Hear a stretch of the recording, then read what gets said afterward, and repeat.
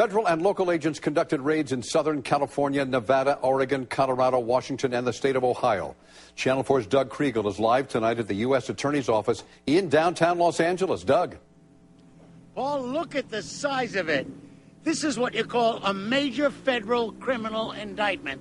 79 motorcycle gang members charged with murder, racketeering, and other violent crimes.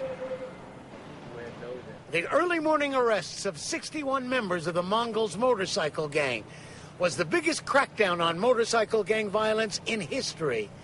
The 86 count federal indictment against the Mongols alleges murder, attempted murder, hate crimes against African Americans, weapons and drug violations.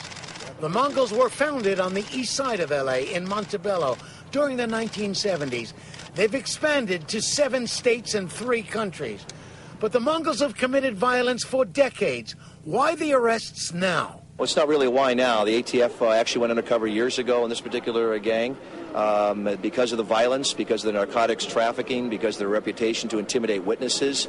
Uh, ATF uh, went undercover about three years ago. We've been working this case aggressively and uh, had uh, terrific results today. Investigators claim the Mongols were now recruiting members of LA street gangs to assist in violent crimes. The feds seized a huge quantity of high quality motorcycles, which are now in federal lockup. A cache of weapons also brought in. Four federal agents infiltrated the Mongols gang, rode with them, witnessed crimes allegedly.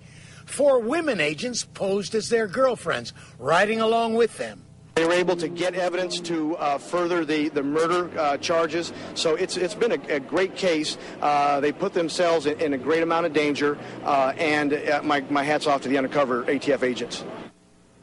Those undercover agents had to pass lie detector tests given by the Mongols.